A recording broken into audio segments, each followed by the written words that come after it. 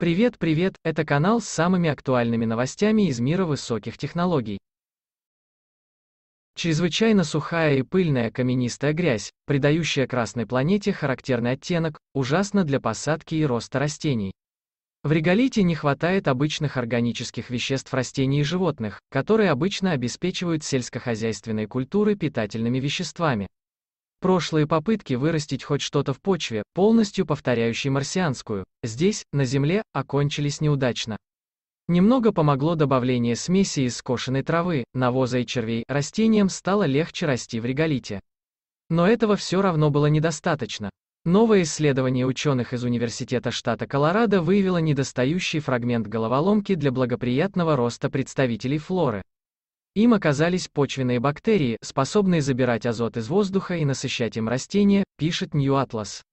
Азот для растений – важное питательное вещество. Ученые сравнили два образца клевера. Один посадили в неизмененную марсианскую почву, другой – в реголит с почвенными бактериями.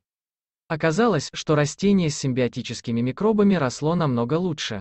Оно продемонстрировало на 75% больше роста корней и побегов, чем другой образец. Жаль, однако, что уровни азотсодержащих молекул в почве вокруг обработанных бактериями растений не увеличивались.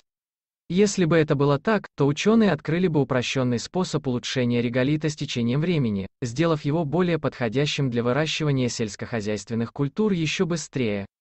Тем не менее, результаты показывают, что добавленные микробы могут стать важным помощниками для будущих марсианских фермеров. Как будет выглядеть жилье на Марсе?